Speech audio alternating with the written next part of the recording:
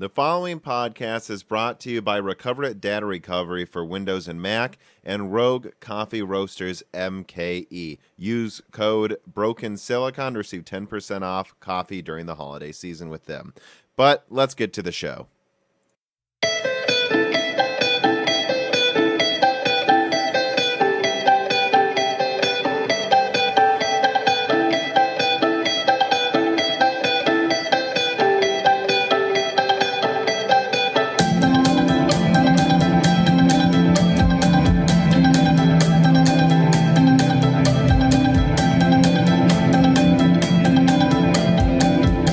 And welcome to Broken Silicon, a PC hardware and gaming podcast. I am joined as semi weekly always by my co host, Dan.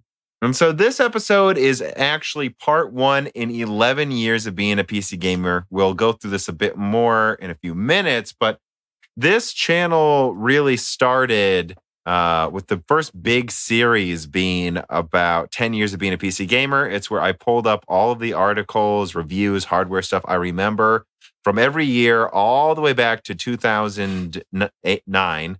And I went through it year by year. And, you know, it, it shifted. Like my memory of 2013 and 14 was really, really good. So those kind of each got their own 45 minutes. But then there were some where I'd combine a few years together.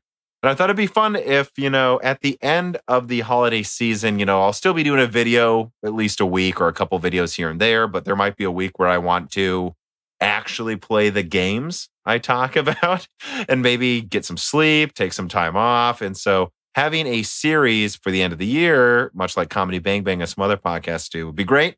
And uh, so part two will be Chris, and we'll be going mostly through the end of 2018, early 2019. Uh, Paul from Not an Apple Fan and I will go through kind of the second half of 2019, and then me and Coreteks will talk about the year in general and what we expect next year. But part one, me and Dan kind of talking about the lead up to even creating Broken Silicon. So I guess uh, let's get into that. We'll have some reader mail questions in here as well, as always. We'll probably come back by I don't know. We'll see. You never know. You might just get a random episode uh, at the end of December too. At least by early January, there'll be one. Yeah, we'll see. We'll see. So, what? uh Let's start here, Dan. What do you? Uh, I think what I want to talk about is kind of us even watching tech tubers because we really got into PC gaming in high school or not really. Well, we always had a PC, right? We come from that era where we Yeah. remember when we were little, one desktop hmm that the family shared. Yeah. It's just a for Age of Empires 2, Rayman. What else did we play? Eventually Mass Effect. I, I got that. That that ran on the. I one- never played that on PC. I played that on like my PS3. Oh, okay. Well, I played it on PC. You remember that, right? Mhm. And I played it on our parents' one desktop when I was in like high school, which you could run it. Yeah. And so eventually I got a uh, like a CAD laptop that overheated like crazy in 2010. Um and you know, eventually in college we really got into PCs. We built our own desktops, but we read a lot more back then. Yeah, I read a lot more back then. I guess uh well in high school when I was really getting into it, uh I was probably bored, so I read a lot about Yeah. other shit. Yeah, I read a lot more in high school too. I had more free time, frankly, which meant more time to play games, but also more Well, time to read. And Tom knows this. Like when I was in college, I was a uh, workaholic and I would just That hasn't really changed, to be Yeah. honest. I would uh I would had a full course load and then I would do like three part-time jobs too. So I was Mhm. working another like 20 to 30 hours a week, hmm which was more than my university allowed, but they never said anything to me. yeah, I mean, I worked more than I was supposed to when I worked uh, in the automotive. Well, in the for one of the big three as well, and uh, so yeah, They- in yeah, college I stop me. in college I kept up to date, but I read a little bit less. I used to give out a lot of hardware advice because I was Mm. me and Dan bored. were Tom's hardware gurus, graphics card gurus. Yeah, I think at one point I was like number like 50 on Tom's hardware. Which it used to be used more. Yeah. It's still used a lot, but it used to be used more. Like this is all the way up until about 2014. The hardware forums on AnandTech and Tom's Hardware and Tech Power Up were like littered with people. A lot of that's moved to Discords and YouTube now, though. Right? We started watching. When did we even start with Tech Tubers? I don't know. I, I probably didn't really watch any until maybe A few years year. ago. Yeah. Yeah, I, I, I, I didn't keep up. And I mostly just watched like Adored and Linus sometimes, but Yeah, every now and then you would see a Linus Tech Tips video, I suppose. And I remember I liked TechSpot a lot. Their graphs were well organized, Yeah. very well written articles, very comprehensive. Like they wouldn't just benchmark two processors or four, they would do 30. like, they're- yeah. they would have all the graphics card you could want. And if they left one out, they would have something close from the same architecture so you could estimate how the performance would be. No matter what review they did, always balanced. They never said any of the crazy, stupid shit I would see with like these websites that are like, well, the 650 Ti makes some sense. It's like, it hmm. doesn't make any sense. We're talking about a $180 card that, $150 card that's half the performance of, you know, like a car that's just another 50 bucks. Like you never saw that on TechSpot, but I noticed they had videos eventually, and that was hardware unboxed. Yeah. Right. And so that's really, I think, where I started to get into it. Okay. Like Um, Tech Tubers was that. And I don't even remember when I started watching Adored, probably end of 2017, I want to say. I don't know. I remember I was playing Battlefield 1 when I first started. So that would have been, when did Battlefield 1 come? When did Battlefield 5 come out? I mean, 5. Yeah. So that came out 2018. So yeah. One? Five. No, 17 was when Battlefield 1 came out. Battlefield 1 came out. Whatever. Yes. no, it would have came out in 2016, right? 16? Yeah. Eh, Who cares? Yeah, but so I was probably started watching Adored mid 2018, somewhere around there is what I'm trying to say. Yeah. And so that was it. And then I slowly rolled into Gamers Nexus was there. Uh, you know, I, I remember seeing a couple of his articles before I watched his videos. But by the end of 2018, I would say we were mostly watching tech tubers. Yeah, because a lot of, I mean, we still use WCCF Tech, which we still do to an extent, even though you and I criticize it a lot. But Yeah. um, Some of their stuff mid this year was the laziest written junk I've ever seen in my life. yeah, it got really bad. I don't know. And, it- And yeah, people say that, but it wasn't always bad. no, it wasn't. I mean, maybe we were less critical back at that point in time, but But we before you- probably were. Yeah. But yeah, um, I don't really use any of the big websites anymore at all. I mean, I guess I look at TechSpot still sometimes, but Yeah. I, I don't use them that much. Many big websites anymore. It's just kind of YouTube and forums, I guess, like on Reddit. But the Yeah. Reddit forums can be a shit show too. Yeah, so I and this is where this transition happened, and we're seeing this right now in the podcasting space. Another like you, like me and Dan, like Sacred Symbols, which is Colin Moriarty, and he used to be from kind IGN. of Well- kind of funny, and then from IGN, he was a kind of funny for a few years. Well, he was IGN, then kind of funny. Though. yeah, but that's what I'm now. saying is you're seeing this splintering off where people are by themselves. And so you saw him split off with some friends to make kind of funny because they realized, as he famously said, I we realized IGN needed us more than we needed them.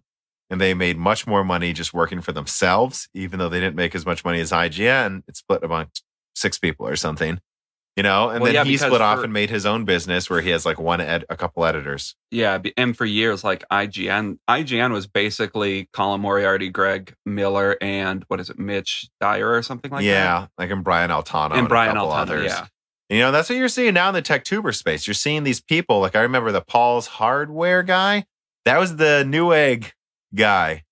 Oh yeah, yeah. I forgot about it. And him. he, I remember in 2011, like looking up videos on how to build a PC, and it was Newegg's tutorials. yeah, And I just remember last year noticing, oh, he has his own huge YouTube channel. See, everyone's leaving these. yeah. You don't need these centralized. And that's why that guy that did the Verge build, like he left Verge so he could He could make his own, yeah, because that, which we've considered doing a reaction video. I don't know. Probably not. Maybe in December for fun. maybe. We'll see. Just uh, I know we're late to the party, but man, that Verge video. That Very was, funny. That was so insanely bad. But yeah, so uh, and um over time I started to I don't know, right? I just started getting I'm, I've been a little bored to be honest. I'll, I'll say it here at my job, right? Yeah. Like even though I enjoy it a lot, um over time I've just, you know, I I have to do a million things at once for some reason or I die. And so I started thinking about doing other things. I started doing like stand up a bit here and there. And then I also start, I've been writing for a while. I've like 10 short stories and two half finished big books that hopefully I'll finish at some point. But then I also started to think about making a YouTube channel. I actually created Moore's Law Has Been Dead mid 2018 and they did nothing with it. Basically, just because I could not believe how bad some of the newer tech tubers were. Obviously, not the people I reference all the time, but there Yeah. are some where it's like, I mean, The Verge, for instance, that was in. Which The Verge claims to be a tech website, right? Eh, I don't I think know. so. There's a I lot of know. people claiming to be a lot of things. Then you just see what they say, and you know. And so I actually, the first thing I wanted to do is I figured out how to make my MX150 run without throttling, even though it was the eight watt version. This was a huge godsend. You know, eventually I got a 250 review out a year after I created the YouTube channel. Again, it was called Moore's Law Has Been Dead then, because again, I thought it was hilarious to even think like it's dead. No, it's been dead for decades. But uh, what I thought is, you know, I never released this video because it's horrible. I thought what we could do is this. I'm not gonna. I was thinking of playing the audio, but or sharing it, but it's like, nah, I don't want to. But what I will do is this. I'm gonna. Here, here you go, Dan. I'm handing Dan some headphones. We are next to each other right now. We are still in the clandestine basement operation at our parents' house. That's right. So put that on. All right. Now I'm going to play the video. And Dan, you need to describe it as you're watching it for the listeners. try I think this would be the time. most fun, right? Yeah, I'll try to do it as good as good as I can. So first of all, we have a thumbnail here, Dan. What do you think of this thumbnail? So you're we- you're wearing sunglasses. You've got a Batman T-shirt on. I'm pretty sure this is a pair of pajama a pajama T-shirt that you wear a lot. A, a Batman T-shirt, yeah, And then you have what looks appears to be a what is that GPU Z open? with a sad face. Oh yes, to I didn't see the sad version. face, and an arrow is pointing to something. I cannot re- make out what it says because no, the because it's too icon small. is too small. But also a glass of wine. oh yes, the signature glass of wine. All right, now I'm going to press play because it's still on YouTube, never released. Maybe someday I'll give it to you guys. The holiday special. Yeah, the regular. okay, Dan's immediately dying. There's a lot of there's very very loud background audio.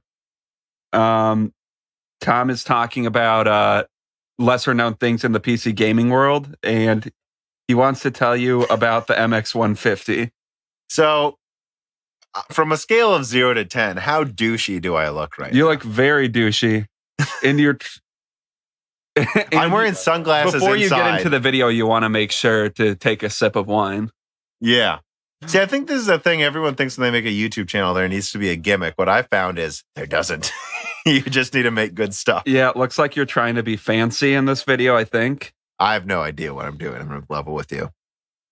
How's the framing? the framing is really low. Looking Uh, straight up at me. looking straight up at you, so you see way too much. It's not framed very well. Um, oh, did you record this with a bunch of mining rigs on? oh, yeah. That's this would have been made is. mid 2018, the peak of Tom's mining craze when I had like five rigs littered all over the rooms. Like every room had a mining rig in it. So you're talking about how uh, the MX150 throttles a lot. Mm-hmm. I'm not sure. I, I have a hard time talking sometimes while I'm also listening to things. So. Yeah.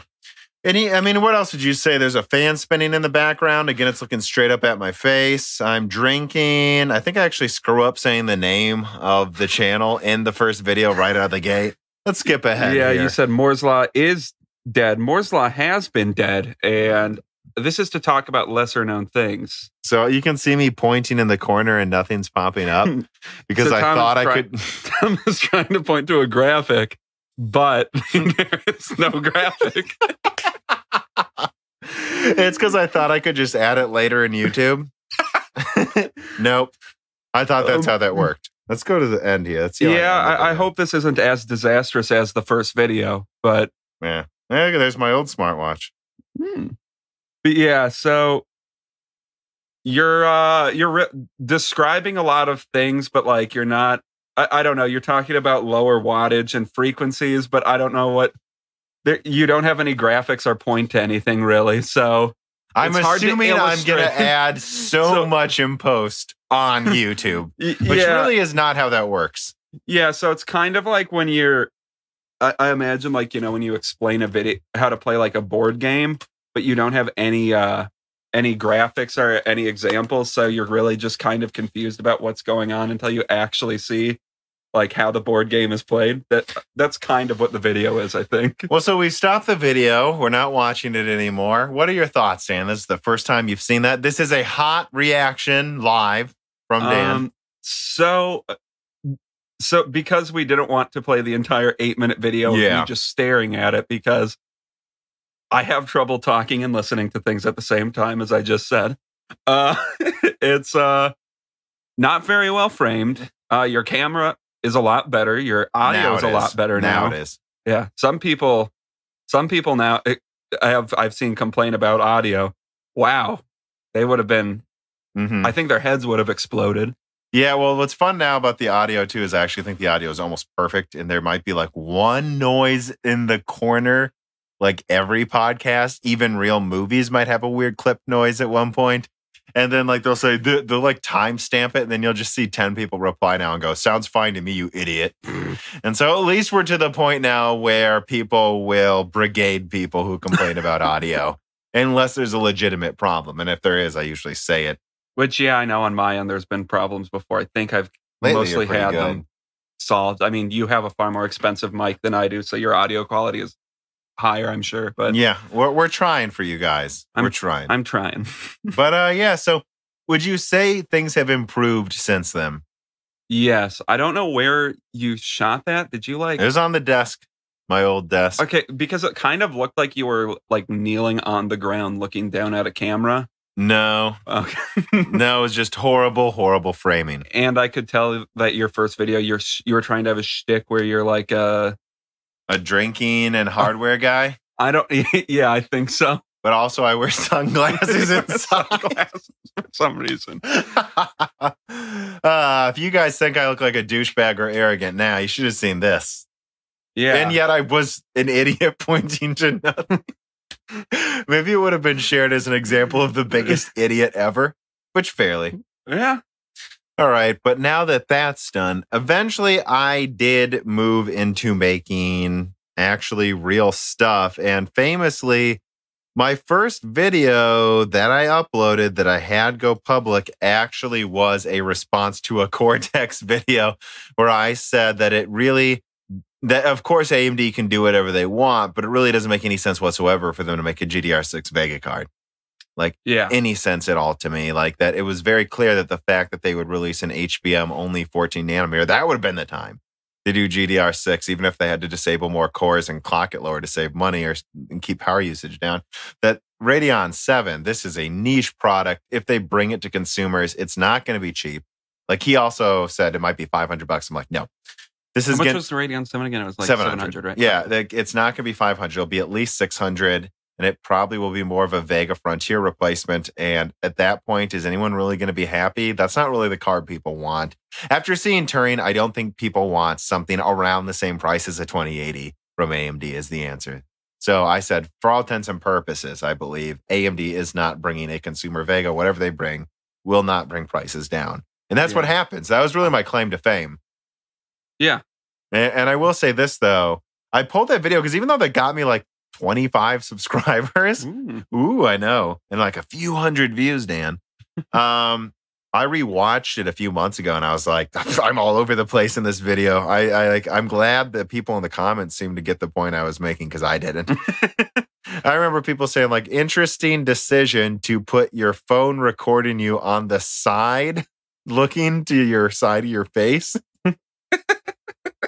Yeah, that's the best angle. And so, yeah, I'd say there are really, if you, you're kind of scrolling through my YouTube channel while we talk, uh, if you really think about it, there are like a few distinct like eras of the YouTube channel. And I think the first one is early junk, is Well, what the- I've called it. And for the first era for me is Tom created a new YouTube account, so he's just getting the default videos. So like every other day, he would just send me a, a bunch of trending puppy videos because those would show up on his channel. Oh, yeah, that's right. so, yeah, so it was a new YouTube account. So you didn't have the decade of the curated stuff that it knew I wanted, which would be like political stuff, podcasts, my favorite comedians, maybe you know something from like late night stuff like SNL skits, Seth Meyers. No, no, no, none of that. Just since it's a fresh YouTube account, it would, and now of course it suggests all PC hardware stuff. Yeah. Back then, it would just suggest tons of puppy and kitty videos, and so I would send Dan a puppy video every other day. Yeah. A lot of great Pyrenees stuff. But yeah, that was the first era of the channel for for me. Yeah, that's what, and and I only put out a video like once every three weeks. It would literally Yeah. be. Uh, what I really wasn't taking it seriously. I was just talking into my phone. I hooked up a mic to the phone. Eventually, I got a camera mount that I put the phone in above my monitor, and that was a big upgrade right there with a little mic. And I mean, I'm thinking of the early junk. Um, the one with Intel benchmarking their remember the 8700K against the 2700X, and they literally turned disabled half of the 2700X's cores Mhm. for some of the benchmarks and used RAM that was slower. And that was one of my first videos that got like really like 500 views or a thousand. And that was um, the death rattle of a monopoly. and I like the thumbnail. That was pretty good, right? With the, uh, I took the German Battle of the Bulge map Yeah, yeah, yeah. and replace the German positions from World War II with like Xeons and yeah. Comet and like Coffee Lake stuff. And then I put AMD stuff around it. I'm like, and it just talked about this is what happens when they have nowhere else to go and they think they can still get away with that. So that was a popular video. Eventually, I released one about Linux, which I still think was a good video. I made really good points about what it would take for a third OS that's Linux based to succeed with do it yourself market. And of course, it was just brigaded by Linux fanboys, which is funny because I didn't say anything bad about Linux, really. But of course, if I don't say Linux is God's gift to mankind, the Linux Well, fanboys will freak out. One of my friends from uh, college always made jokes about Linux. He was like, uh, I don't even use Linux. That's too closed of a system for me. I use Arch Linux. I have to, I program the drivers for my mouse because that's that's the only thing that's open enough for me. Like I really need to be able to customize everything about it. Yeah, Make sure my mouse works the way I want it to. You know. I'll do it myself. Yeah, I'll do it right? Because myself. I'm not an idiot. I'm a smart person who likes having to compile code for a mouse. yeah. Yeah, I just made a bunch of Linux people hate us again. Sorry. Again, like I use Linux, it's fine, but guys, come on. It- but anyways, so there was that video. There was early PlayStation thoughts videos. It was like my third one. I think I did one while I was hiking with Reese, where I just talked into my phone like this. So these are just my thoughts while I'm walking. Those Uh, always look good. Those always age well. And then I did the, I think, second or f- I think it's the second video you'll find on my channel that's public and not in an unlisted format. I, I almost never, I've only deleted like two videos. So, like, they're all there if you have the original links pretty much. Um, it was the reality will catch up with Intel, where I'm like, why reviewers still don't seem to get it? Why Intel's still selling well? It's like, don't forget that people didn't think Sandy Bridge was great that it took Ivy Bridge and Piledriver to really have everyone finally understand just how in charge Intel was for some reason. which I think the true realization this time around came with like the 3950 and Threadripper release, where everyone was just like, "Yeah, these are the best processors." Yeah, now." that's a good point. This is this is the even the almost everyone said that type of stuff with the uh, Zen 2 release, but not Yeah. quite. And I do see 3950X. You just get like every review saying like Intel is horrible. Like that's the title of a review. like and the Threadripper again, it succeeded. It impresses me. You know, yeah. I thought that was more impressive. like let's say I can't get a 3950X before the end of the year, which who knows by the time this comes out if I've already have one. Uh, but if I can't, and then I wait half a year, and then Threadripper drops in price a few hundred bucks, eh, it's still on the table for me a little bit, apparently, because it games as well, if not better. Like in Yeah, Battlefield which- 5, it games which better, what which I surprised play. me about the Thread uh, Threadripper is how well it scales in pretty much every task. Like it's better at gaming than the 3950 in most circumstances, I think. But Yeah. So so yeah, that curb AMD enthusiasm thing, which was really just there to not think that AMD is going to be a bargain bin anymore. But uh, I would say that was a little too over the edge. AMD is no enthusiasm's there. 3950X is more efficient than we expected. Threadripper games better than we expected. yeah, which I'm just glad to see that not everyone was pissed off about the prices because Well, why? Why would why? if it would have been 20% worse at gaming like before, they probably would have.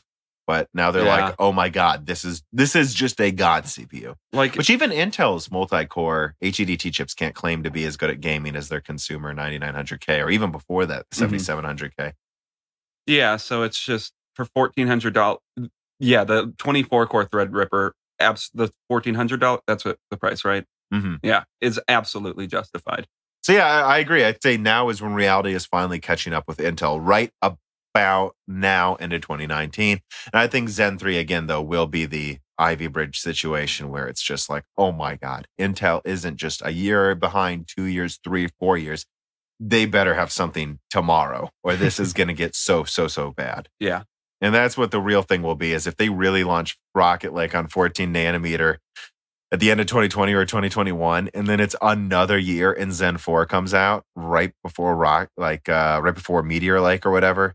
Like Yeah, that's gonna be but yeah. so yeah, that was the early era. Like that one there, reality will catch up with Intel. That got like five thousand views. And I was like, oh my God. And um and so then I would say the next era was 10 years of being a PC gamer, which expired this series as well. That's when I got like in a few weeks, several one hour videos. And a lot of people finally I noticed for the first time going, dude, I love these videos. Make more stuff. And that's when I really started getting out videos every week for the first Yeah. time, like uh, one or two videos a week. I would say first third of 2019. Yeah. What was your memory of that time period? Like, oh, I guess Tom is a thing. Yeah, I was mostly like cool and I was doing a lot of lab work. So I my my memory is what was I doing in that time? I was uh doing a lot of zebrafish founder screening at that time. Mm-hmm. so But this led into May, which I would say is the third era of this channel. Which again, the eras are going to keep getting longer and longer now. Like it's grown fast, like you expect. If it's does if it's a decent channel, and then it'll just kind of plateau a little and have a slow climb from here on out. But the the the, next giant boom was the Zen three leak. yeah, probably one of your most important videos, at least for your success as a YouTuber. Yeah, and that came from mostly from my analysis. I don't have like just so you guys know, AdoredTV had a Zen 3 roadmap for months before his video came out. Yeah. Months. And so I had an Xbox person I talked about about Zen 3 and some people sent me at least links to Microsoft code looking at this and then I also saw other rumors like on WikiChip and then a WikiChip link to SMT4 Mhm. and I connected it on. I actually spent like a week thinking about it and putting together a script and my thoughts. And I was like, oh, well, here it is. I think this is what Zen 3 is. And it seems like, at least for the time, it was mostly correct. And you had Adored come out and plug my channel. And I believe I got like 500 subscribers a day for a week there. Yeah. And that was a huge boom. You had several other channels mention me. Had one channel steal me, my information. Yeah, I Use remember. all of the same links I had and then claimed he had a And then he had an, a secret source. The source was just uh, your script, um, yeah. which I watched. dwell that- on that. Yeah, yeah, we don't need. I, I think I've shit on that guy before, but Yeah. Yeah, but so that was um that was when things started taking off and I started getting these other videos out. That was famously though my Zen 3 video had the audio off by half a second and the cam- the thing sounded like shit. That's just one of my recording softwares just is it like a 96 hertz bit rate or yeah, something, maybe less. Honestly, maybe 60. yeah, It does not sound good. I do not use that anymore. And that was when you had also the what Intel should have done. Right after that, two days later, I dropped the Intel should have made like six cores without integrated graphics earlier and like what they should have done to not be destroyed by Zen. And that got tens of thousands of views. Then all these other videos come out, and like I started really just rolling all the way into Intel's bulldozer is here with the 400 watt Xeon, and that got like you know it's like at 85,000 views at this point. And uh, yeah, that was the big big growth area of my channel where I went from in uh, like two months 5,000 to 15,000 viewers or something. yeah. So yeah, what was that was weird, wasn't it, to check it every time and just see another thousand there? Mhm. and that is, and this leads to the next era when we started Broken Silicon. Which when did June maybe? I think it was June. Yeah, Yeah. And we've always kind of thought of ourselves, or I have thought of this as kind of being a podcast eventually because me and Dan love podcasters. yeah. I listen to a lot of podcasts. Like a lot. Me too. Like I'll probably listen to several hours of podcasts a day. Well, At I least mean, on so- average. So for my job, a lot of some days I'm inside a dark room with a microscope for like four hours and I'm talking to no one. Yeah. So it's like, what else am I going to do other than listen to podcasts? Fall asleep because it's very easy to fall asleep in a pitch black room with a microscope. And this also when we got into more YouTubers as well, because we didn't we used YouTube when someone sent us a video before, basically. Or we needed to look up an SNL skit or something. But it was when I think I started this YouTube channel that we finally discovered your mom's house and H3 H3 podcast. I I had been watching H3 H3 for years, and I told the told you- podcast? no, I I, I kind of I, I, and I'd seen some of their videos. I, I listened to when I uh they had like a guest on like Chris D'Elia or Tom Segura, but Yeah.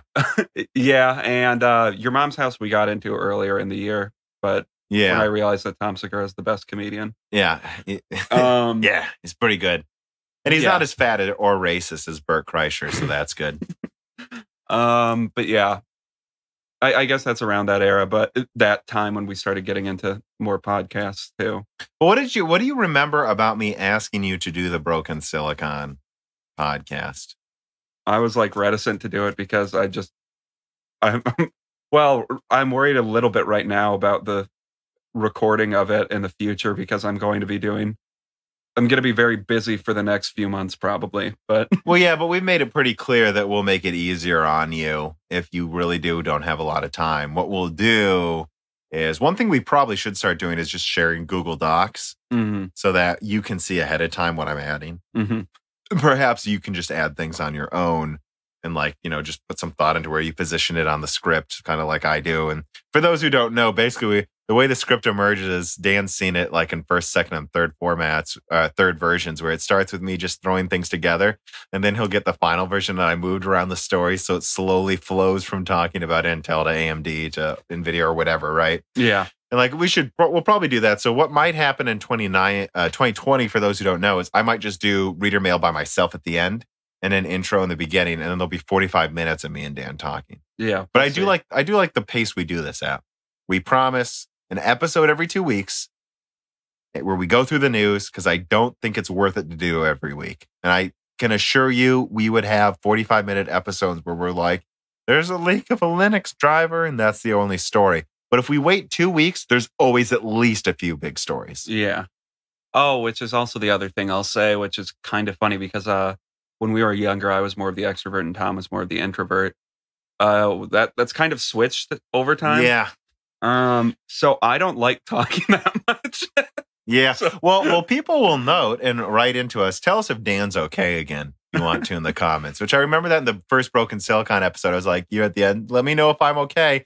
And just uh, dozens of comments. Dan is. Uh, I love how they just literally said, "Dan is okay.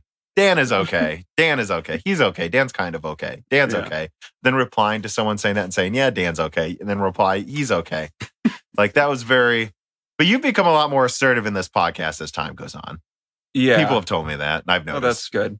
I, I I knew I would get more comfortable. and you dominated the flat earther episode and several other Well, episodes If you get too. me talking about something stupid that I've spent too much time on, yeah, I can talk. You'll really let loose. Um, that was that was uh, flat earther was a big thing I did when I was bored over a summer in college, where I just spent probably a month. Mhm. It was a month of my fucking life.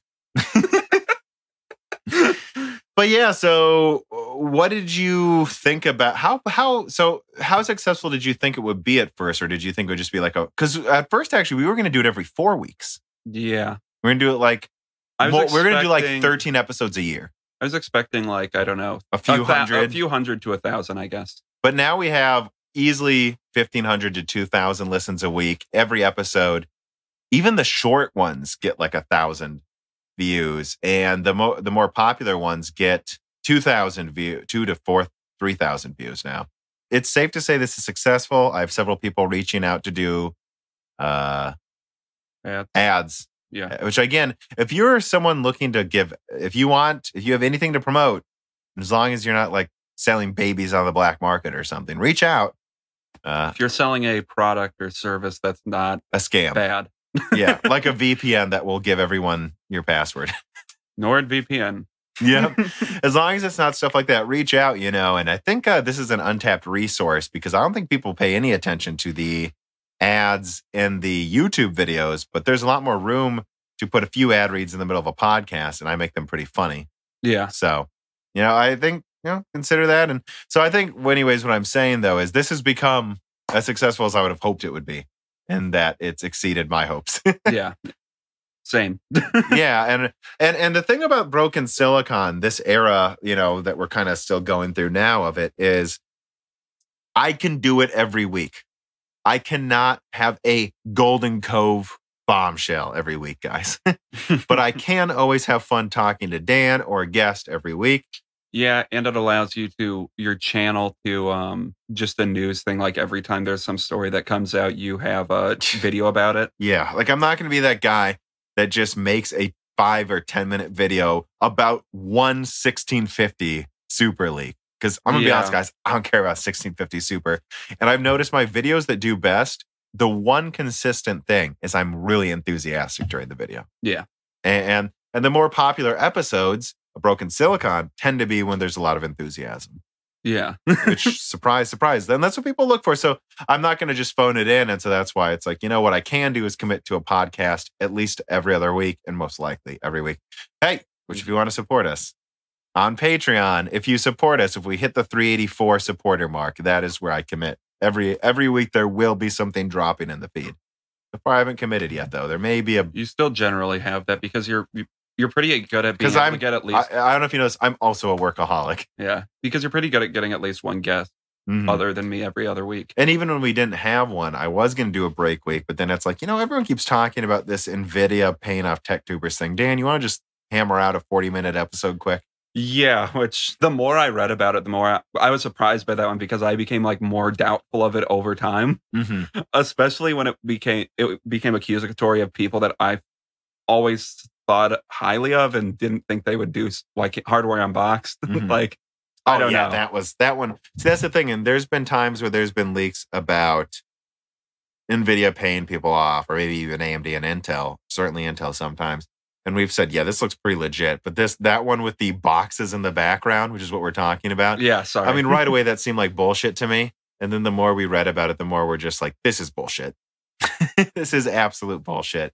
And Yeah. Gamers Nexus and Hardware Box are going to have a field day with this because they're desperate to shit on AMD fanboys. Because AMD's usually right, but Yeah. the fanboys act like, you know, there's a conspiracy. So they're usually desperate, to, which is what I would say to Steve. Steve, just you know, back it down a little bit. Huh. Oh, NVIDIA Okay. does do some stuff sometimes. yes, I, I get why you want to shit on fanboys, but just, you know, just understand where they're coming from.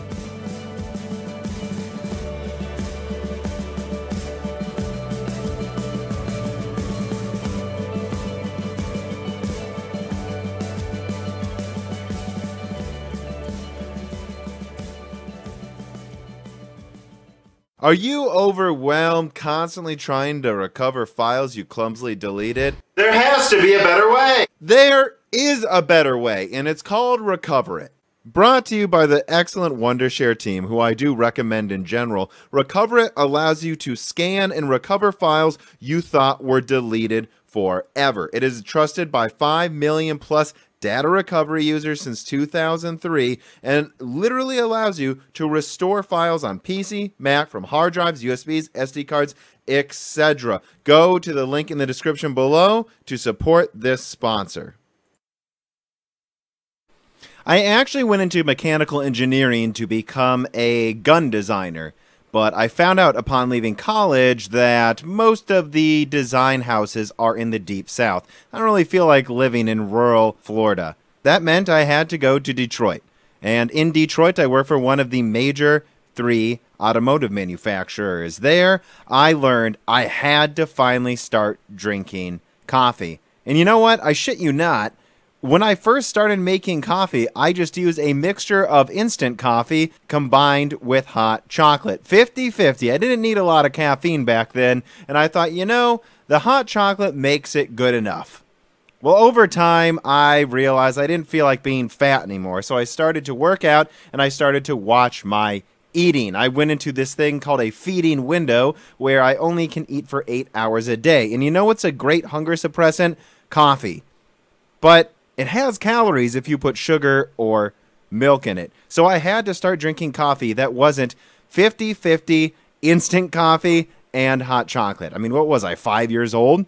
So I started to appreciate the better taste, even if I'm not a coffee person. And one place you can go now to get an excellent coffee taste is Rogue Coffee Roasters. These guys are a small startup based in Milwaukee in the heartland of America that just make good coffee. They have a proprietary infusing process that roasts beans with unique flavors that don't taste artificial. I personally like Basic Bitch because it tastes like a pumpkin latte without the 380 bullshit calories you get at Starbucks. And you know what? They've got other things too. They've got Bordeaux infused coffee beans. They've got Magarabi. I don't know if I said that right, but it's coffee infused with mint and it tastes delicious. And you know what? The holidays are almost here. So reward someone with a gift the gift of good coffee and the gift of not having to eat in the morning. And you know what? Right now, there is a deal where if you spend over $59, you get free shipping. And that's at roguecoffeeroastersmke.com. And in fact, if you use the code Broken Silicon, you will get 10% off your order. Go to Rogue Coffee Roasters MKE, use offer code Broken Silicon, and get the gift of good coffee. All right, back to the show.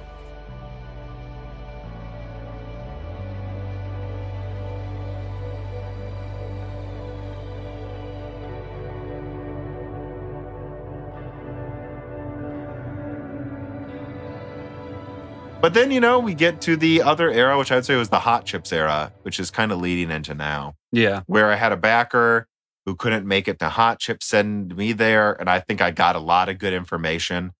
I got the least, I, I got the AMD keynote, the only person with the AMD keynote for about a week, Oh yeah. which even though the quality was terrible, you could understand it and it was fun. hmm you know, and I did. That's when I started doing more and more of the live streaming on the road thing. So Mhm. yeah, I mean the that's what I think, and you know, that's when I showed up there. I met with people. I had a badge on me that let me in that said Moore's Law is dead. I met Jim Keller and Raja Koduri. That was weird, especially just because, hey guys, they're just normal people, if you can believe it. Surprise. I've well, yeah. I mean, you meet a lot of smart people, and it's like, oh yeah, they are just normal people, though. Mm-hmm. And then uh, we're into the modern era, which I would say is kind of the consolidation of content era. This is where you start to see it more and more standardized. It's like, here's what it is podcast on Tuesday or Wednesday, die shrink every other week, basically. Uh, although it's really two in a row or three in a row and then a break week. Which that die shrink is funny because you tell me about ones that are about to drop, and I'm just like, oh, we recorded that one a while ago. We're- Yeah, we're pretty But then sometimes I drop them a week after we record them. Yeah, yeah. I curate the order on the, purpose. the flat earther one isn't time sensitive. No, and I and I knew that'd be a fun one to have a big one on Thanksgiving because you know I was guessing there'd be less content this week, which unfortunately I've only been able to put out a two-hour live stream, two podcasts, and a video on Friday, so only four pieces Yeah. of content this Yeah, week. yeah. Which is funny. I keep saying I'm gonna, like I say, I'll take a break in December. If I have to guess, there will still probably be. like one one period where it was like you were like ended a video with like I yeah this week might be a little bit slower or something and then you put, Put out fi- like two 20 minute videos in a 24 hour period yeah, yeah, that was the one with the uh, i nine yeah video a couple weeks ago, and then I also put out this giant Threadripper video that was one of my best videos, I think. You know, so it's it, we'll see. You know, but that I I commit to it. I always will come up with some video a week. You know, and there will always be a podcast, and then probably a die shrink on the weeks where I think the content's a little light. But you know, the thing is, I there was one period where I had like four or five videos a week, just hammering out over and over and over and over. And it's not because I felt like I needed to get them out almost ever. I just kept having stuff to say. Mhm. But yeah, so that's the modern era we're in. As I Yeah. continue to have a job that's actually very demanding that I do in addition to this. And if uh, we get to the HBM supporter level, is what I've called it, that's when I like heavily consider just quitting the job. And, you know, this December is going to be about filing for an LLC, hiring on more people, standardizing pay next year. So that's where we're at. Nice. This is the modern era of Moore's Law is dead, a PC hardware and gaming show. but mostly hardware. I mean, pretty clearly that's the niche. Yeah, But we we're not afraid to talk about consoles yell and at- gaming. a- and every once in a while we yell about a game we're excited about. Yeah, like right now it's Death Stranding. Play Death Stranding if you have a PS4. It's uh, better than I expected. It- It's it's really good. Also the best looking game I've ever seen. But uh, yeah. So I think the last thing to say before we get to a little bit of reader mail is, what do you expect next year? I'm not sure. I, I don't know. Uh, I think we'll see. I don't know how you feel about this, but do you think they're just not going to ever have a, the quote unquote big Navi and the 5000 series? Like, I feel like there's a chance they might just rebrand. They might just brand whatever comes out next as the 6000 series. You know, when it comes to AMD's graphics naming schemes, everything is on the table. I feel like the I feel like the 5000 series is uh oddly the they're unveiling a new architecture, but it also seems like a stopgap generation to me. That's not. Oh, you mean the bigger Navi coming? Yeah. Yeah, I know. It, it's odd. But uh, it, well, if it really does have both GDDR6 and HBM support, I believe it will be big. I think the fact that they're delaying it kind of could mean that this is very big. But it, again, staggered rollouts. We have the 5700 XT, the 5700, the 5500s launching, and the 5300s. Well, both of those are out in OEMs now. Um, we might get what sounds like a 5600 XT that will be like a further cut down Navi 10 for like 280, Mhm. which, you know, I don't know. I think maybe just make the 5700 300 bucks and call it a day. But plus, you still Vegas selling in the 250 range. So I don't know if they really need, but I don't know. You know, we, we'll see what they do there. And then there's room for at least two tiers higher. Yeah. And I think I Which really, I'm saying I don't know if those tiers are going to exist in the 5000 series.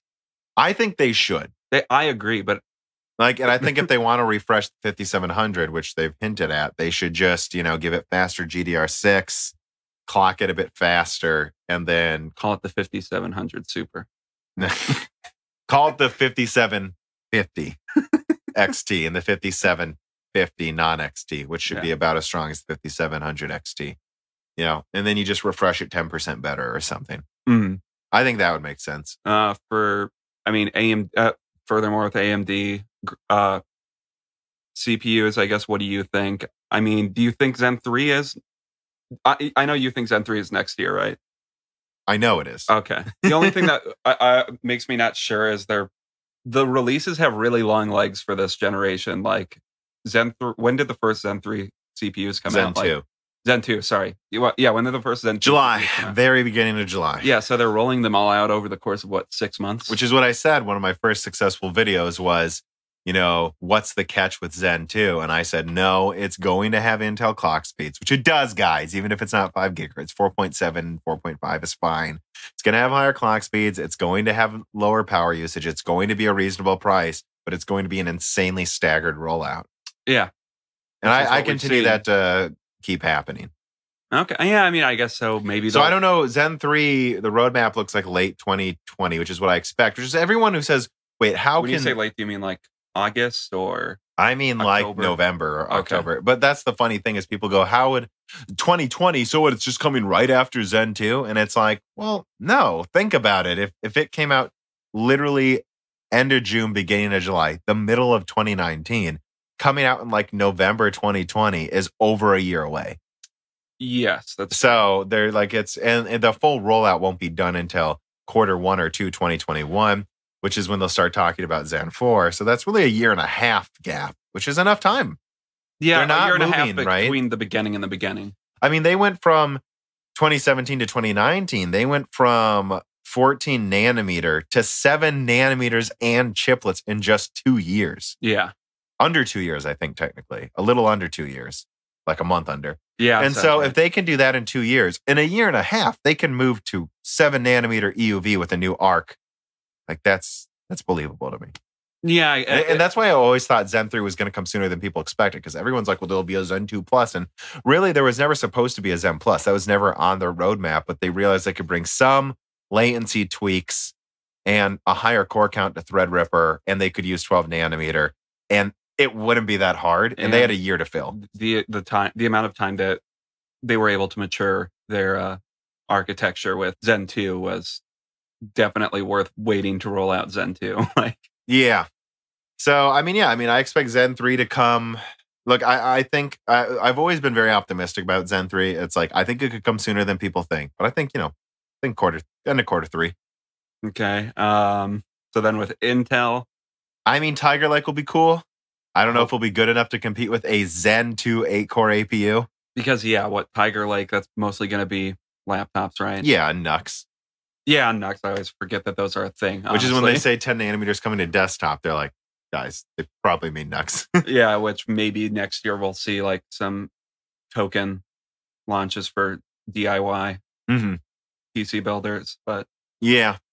And so, but I wouldn't completely rule out 10 nanometer coming to desktop with some Halo products. I would not rule Yeah. it out. I'm told it's doing better than people expect, but that does not mean great. So I would not rule out anything with Intel. Either way, the point is this it's going to be behind AMD all of next year. Next year is the year where AMD probably hits their all time stock price high. Not financial advice.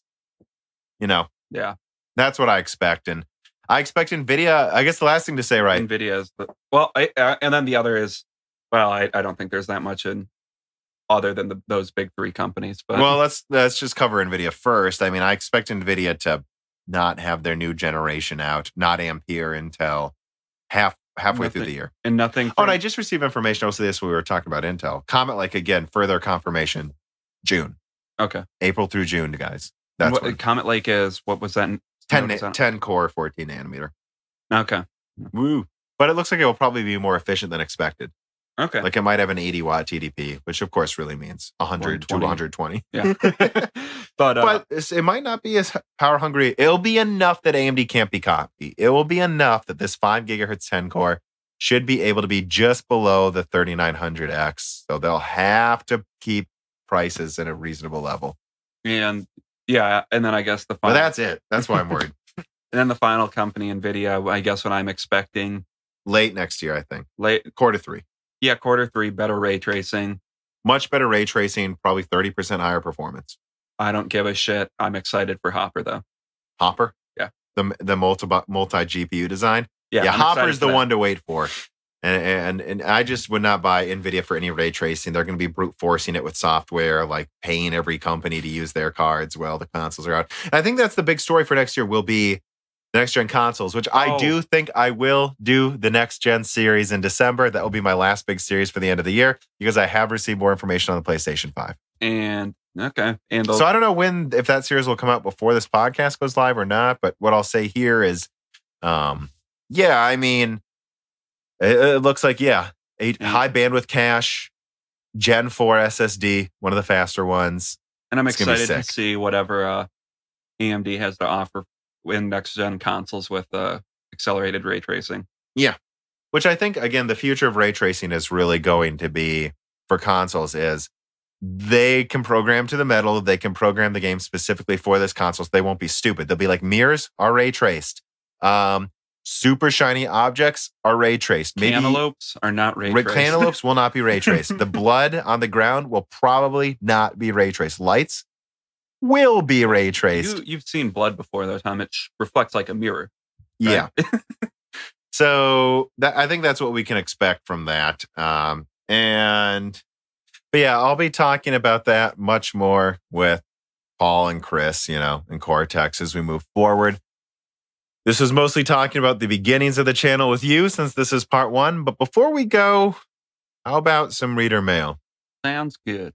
All right. So the first reader mail question comes in, and you can write them if you support us on Patreon. Melvin writes, How big of an impact does aging generational differences have on the gaming industry? Is it different if you look at only PC gaming? You know, Generation X grew up with Ataris, Commodore, Segas, NESs. There seems to be a surge in retro gaming. Could it be related to Gen X having their disposable income time rise for their kids leave for college? That's an interesting idea. Gen X or Gen Xers are their kids being like sent to born college in now? Yeah, they would. be. yeah Our parents are young boomers, so yeah Uh, our parents are the very end of the boomer generation yeah, I think literally the last year. yeah so the yeah, cutoff yeah so yeah, never mind. Gen Xers would be sending all their kids to school. right about now Um, yeah yeah. Um, it's an interesting question I'm not sure. Hope you keep writing these Melvin that was really good yeah i mean well, let's take this step by step. How what how big of an impact does aging generational difference have on the gaming industry? I think it probably has a big difference, a big, uh, I mean, effect. Right? It has to. Yeah. Uh, um, I think you're seeing a lot of remasters and stuff like that. Well, that is true. can- it is kind of a correlation with Gen X. Well, and you can see that with uh shows and movies right now too, where you can see a lot of Mm. um you can see a lot of people that grew up in the 80s. They're just getting to the age now where they can be established as like a director or a writer. Mm-hmm. So they grow up in the 80s. Oh, so seeing yeah. a lot of the 80s. That 80s content. resurgence probably comes from that. Yeah, because You see that in games too, with like so, Far like- Cry Blood Dragon. And Yeah, so you're like born in 75. So if you're 75, that you would, you're almost 40 now. So you're Mhm. just old enough to be actually have a position of power to be like a director or a writer. So I, I would expect that might be the yeah, I the think. cause of the resurgence of retro games is those people are aging into being like art directors now. Yeah, you know, I I think that you're onto something, Melvin. Which we used to say your name wrong and call you Mahalman. He's a Gaelic name. Oh yeah, yeah, yeah. Gaelic has In our defense. Seems like Gaelic people cannot Romanize their names very well. In our defense, though we love you all the same. Yeah, I don't know. I guess the only thing I'll add on to that too is I think that is where a lot of this nostalgia for 80s and 90s games are coming from right now. I think that's I think he's onto something. Y- yeah, he definitely is. All right, well, let's move on. Carbon Cry writes in just like you can and says, You could look into the new flight simulator as it uses Azure Cloud to stream in the realistic surroundings. Seems like a different approach to seamless streaming compared to the rumors about the next GTA. Hmm, right. The, uh, when, when what he's referencing is the rumors that the next GTA might be a timed PlayStation exclusive because it needs that high bandwidth cache and super fast storage to work well Oh yeah. and that it's going to take them time to port it to Xbox and even more time to figure out when it'll be ready for PC. Because I mean, they don't want to bring it to, P- to PC until everyone's using NVMe drives, and even a slower, and I mean like two gigabyte Well, per second those rumors- NVMe drive might be a third what the PS5 is. if those rumors about GTA 5 are true, which I'm not sure, are those pretty much confirmed by now? I don't think so. I wouldn't say they're confirmed, but I keep hearing little rumbles. But I, I wouldn't say they're confirmed. Okay. Because that seems like uh, I, I could see some guy just making this fake bullshit map. But oh, sure. Or yeah. What were you saying? uh, it, oh, I was just asking, like, just if the map is as big as they say you would. Oh, I think that's might be. confirmed. Okay. I'm talking about exclusive to PlayStation. Is oh, not sorry. confirmed. I, yeah, I, I mean, I, I'm saying if like the rumors about the map being so huge and expansive are true, I could see special hardware almost being necessary for it to run. At least at properly, first, yeah. until it's standard enough on PC that they know they can brute force it as usual. Yeah. Um, and he says, and using cloud to offload game workloads compared to full on streaming like Stadia. You know, th- this is something the Xbox One They tried to- marketed and what they didn't do marketed in at all. Yeah. Yeah. I, I got to be honest. I'm just very skeptical about streaming in general, especially as time goes on. Because, and here's, well, uh, here's the thing it's not that expensive to make the hardware. I know people are paying more for it, but it's not that expensive. We're talking $500 to have supremely superior latency. Yeah. I, $500. Look at inflation. That's not as much as it used to be. yeah. I, I mean, I'm skeptical about it too, just because how, And the people who don't have the money probably don't live in a place with good internet. Yeah. Like, when, when is the latency go- not going to be an issue? Like, how much better does infrastructure have to be for latency to not be an issue? And it's Like always an issue no matter what. Well, yeah, latency is always going to be there, but like, what if they have enough servers? So if you live in, I don't know, like Madison, Wisconsin, you they literally have ping, you can there. ping a server in Madison, or if you that might in- work a little better. But the problem is, what if you live in like, uh, I don't know, some s- small town in Iowa? Are they going to ping a server from Yeah. Des Moines? Are you going to be pinging a server from Des Moines? And pro have gamers, be decentralized enough? pro gamers, hobbyists are always going to want local hardware. So you're getting it's just a really weird niche. That's why I continue to say Stadia success will be predicated on the people who it's not necessarily about money, but it's about time. They don't want to Yeah. download the game and pay any money, but they would play it for free if it had ads. Yeah. I think that's what they have to carve out. In terms of doing a hybrid streaming approach, I don't know, it didn't pan out for Xbox. Which I'm curious. Which you could argue if it wasn't ready, but I just I'm just really skeptical about this hybrid streaming approach, especially with how much better hardware is getting. It's some dream that sounds cool, but like almost isn't necessary. Like, I, I don't know. There's all these futuristic things people talk about. Like, wouldn't it be cool if this were true? if this I mean came to be, but then you, you realize well it's just more practical to have the hardware in your house. And there's always things that they are doing with the cloud. They'll do server side physics if they have the capacity. Yeah. Uh, not always. Battlefield doesn't because I think they decided it would take too much processing power. It would Yeah, take too much is- processing power to handle all that. So they have you do it on your side. Yeah, which is why you have those wildly different physics outcomes sometimes in Battlefield. Where they they make sure for the most part that anything that happens that could affect if you win is the same on everyone's server. But you'll see a body fly in a different direction, Yeah. you know, and they know it just doesn't really matter. Yeah. but yeah, so I don't know. I'm just skeptical of Carbon Crime, but I think there is a world because there were some rumors about Xbox 2 and how they might have a version where they have like a, the same amount of RAM, the same processor, but they stream like they do some of the compute in the cloud, but everything that has to do with latency is done on the local CPU and they have enough RAM for the video memory, Mhm. something like that. Yeah. I don't know. It just sounds hard when you could just make the console $50 more and probably do it just as well if you offloaded part of it. Or just not offload part of or- just not care because no one's going to notice that little extra graphics they get really. Yeah. That's- And you're just not doing smooth 60 hertz with any amount of offloading, except for like some really, really, I mean, like, cause like what? Because then they make the argument if it's something that's not that important, you can offload that part of it. So you could do lighting. But really, you want to walk around and see the lights take an extra second to get there? no, I don't. Yeah. So I don't know. I'm skeptical. I'm skeptical until I see it. Anyways, let's move to a, another reader mail. Dr. Forbin writes in and says, Do you recommend any PC cases in white under a $100? In white? Yeah. I'm going to be honest. The way I've thought of this question is I don't have a Rolodex of PC cases. Mm, yeah, I always just well I've been using the same one for eight years now. I've switched between a few. Yeah, I should really I'm probably gonna try to upgrade in a year.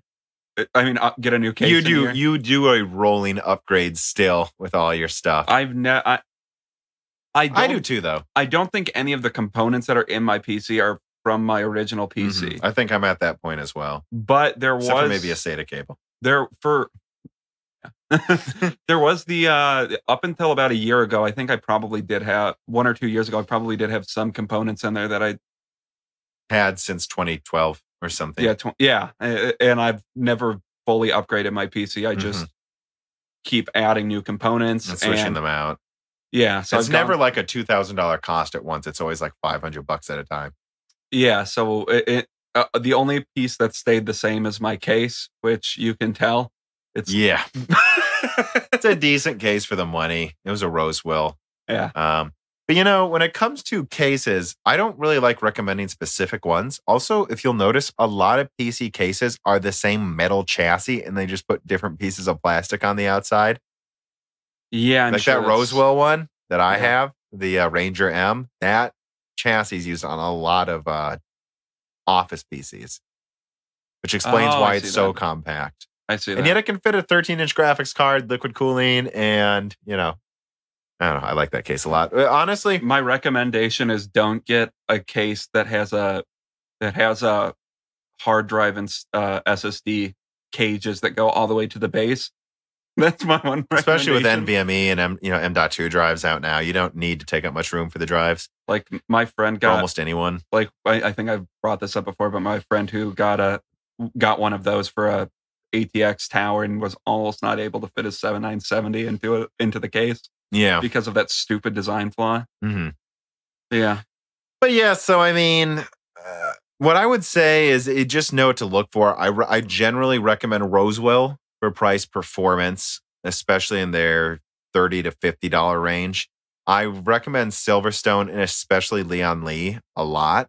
I think they make nice cases. I think they make really good cases. Uh, I, I I feel like if you're paying more for them, you're not just paying for something bigger with lights. Like they, it's actually made out of aluminum. They've actually put a lot of thought into making it only as big Yeah. as it needs to be. because that's the drawback of a lot of those like Rosewill cases that they're usually made of like one millimeter thick steel, I think, which is a little flimsy. Yeah, I'll say I just got a Cerberus Slinger, which you custom order them every component, because I was like, this is the case I'm getting for the rest of my life, and it's been worth it. Like that thing is made out of. It feels sturdy too. Yeah, it's really nice. you can get that in white, but it's not cheap. It's really expensive, you know. Um, and so get that if you want something that'll last forever, as long as you want a micro ATX or ITX case forever, um, which I do. Uh, what I would say is just look for volume and, you know, if you're looking for, I generally recommend micro ATX, but that's kind of dying.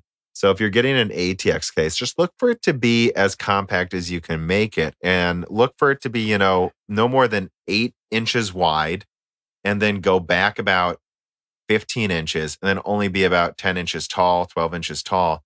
As long as you're Yeah. within that, you know, a foot tall, a foot long, a little more than a foot long, and like let like Less Two- than two two thirds of a foot or less wide. yeah, it's pretty compact actually. And you want to look for something that puts some thought into cooling. I know a lot of people, for some reason, don't like the power supply to be mounted on top. But what that allows you to do is pull air up into the power supply and out the back of the top of the case. There's actually a reason they used to do that. And I see a lot of power supply cages on the bottom of a case. And then, like, the metal will cover it and come down. And so you'll have an intake fan that just goes into the power supply compartment and doesn't cool anything. Or you'll have, again, these cages that make it so you can only have an 11 inch card, even though you have this massive case. Yeah. How insanely dumb is that? Unless Yeah. you want to saw part of your case off. Which we've done with do. bread knives before. Bread knives really good for sawing plastic and sheet metal. um, but yeah, I think you just got to look for make sure that there's an intake at the bottom, an intake out the back near the top, and if you can have some that come through the bottom, make sure it's actually going towards stuff. You know, and look for how sturdy it is too. Yeah. I, I don't know. I, I think that's there's just so many cases. I cannot possibly know them all. And I just and that's so that's my advice is just get good at knowing what a good case is by based on Airflow Gamers Nexus did a bunch of good videos about this. And also don't be afraid to really click to page 10 on Newegg. Like really get good with the filters, filter exactly what you want. Newegg does a good job of making them not a waste of time. And, Mm, and then go to page 10. You'll find a Chinese company that's using a Lian Li chassis and actually might make something thinner than you expected or something. Yeah. Put some thought into it, man. but yeah, that's our general advice. It's more of, I think, how we look for PCs than a specific case I would recommend because they're all really specific to your needs. Yeah. You know what? That's the last reader mail, Dan. Hmm. Year's almost over. This is part one of a four part series. What do you think, Dan? Any last thoughts about this year? Was this year probably the most exciting year Yeah. since like 2013 Yeah, I would say with the so. 290X and the Titan and Haswell, I think was then. Yeah. Yeah, this is probably the most exciting year. Yeah, I would agree. I think next year is going to be maybe not quite as exciting as this year, but still way better than the previous few. Yeah. I think things are after, and I think 2021 is going to be a pretty crazy year. I guess that's all I have to say. I'm pretty tired. Yeah. Hope you guys are enjoying the holiday season. I hope you all had a good Thanksgiving. Well, I hope you guys don't go fuck yourselves. I hope you have a good holiday season. Excellent transition. Goddamn nailed it. Uh, and thanks for listening. We look forward to the rest of the series coming out. I'm sure more videos will be dropping through the holiday season when I find time to make them and get the inspiration. And I bet 2020 the greatest year of Moore's Law is dead yet. And that it'll be All right. the second one. I suspect it will be at least the second greatest year. At least the second greatest year. Yeah, Maybe the best though. Who knows? maybe. It's one of those no two. promises. Unless you all support us up it. Just kidding. All all of you. All of you. All. Every single one. We're getting loopy. All right. Yep. Good night, guys. Good night. Good morning. I, I, bye. Whenever you listen to this. Yeah, I guess. Broken Silicon, a PC hardware and gaming podcast, is predominantly brought to you by me, Tom, of Moore's Law is Dead. You can find all my content, including videos, articles, and this podcast at www.mooreslawisdead.com. And of course, it is also often co hosted by my brother, Dan. And it is edited by my sound engineer, Gerard Cortez. You can find his contact information at www.mooreslawisdead.com. You can also find the contact information of my article editor, Carbon Cry. Now, of course, if you want to keep the show running, I really do hope you rate me on your podcasting platform of choice. Share it with your friends. And if you have the money, but only if you do, consider supporting me on Patreon at Moore's Law is Dead. If you do, you get access to the Discord to talk to other enlightening people who work not just at AMD, not just at NVIDIA, but often in the server space and other computing areas that people often overlook. And of course, if you support it, you can get access to reading these people's names that keep the show running. But without further ado, let me give thanks to my greatest supporters. On November 29th, 2019, the following people at the NetBurst 10 gigahertz level or higher.